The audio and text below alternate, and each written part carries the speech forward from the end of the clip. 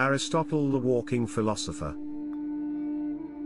In the golden age of Greek thought, as Athens reveled in its intellectual renaissance, there rose a philosopher whose footprint on the sands of time would remain indelible.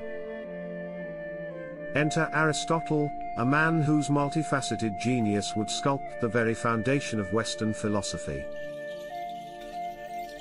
Born in 384 BCE in Stagira, northern Greece, Aristotle was more than just Plato's prized student.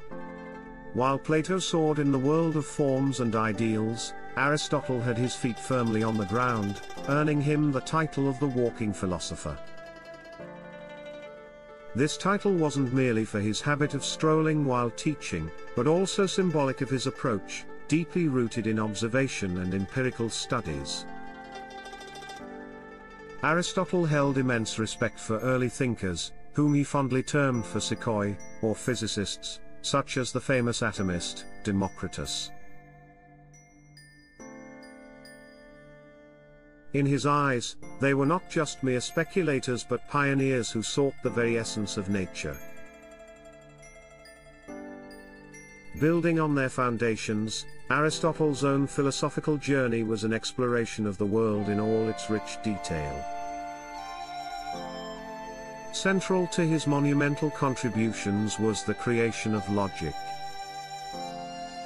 While the Physikoi wondered about the nature of the universe, Aristotle provided the tools to dissect those wonders methodically. He structured arguments, introduced the syllogism, and essentially gave birth to the very method of systematic inquiry we recognize today as logic. Yet, Aristotle wasn't confined to abstract thought. His inquisitiveness spanned biology, zoology, politics, ethics, and more. He believed in the golden mean, a balance in all things, advocating for moderation and harmony in life's pursuits. Today, as we stand at the crossroads of science and philosophy, Aristotle's teachings resonate with newfound vigor.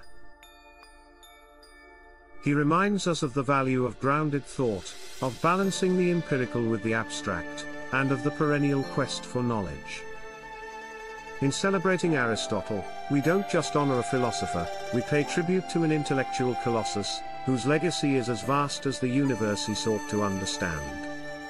His spirit of inquiry, his profound insights, and his unparalleled legacy remind us of the endless possibilities that lie in the confluence of thought, observation, and reason.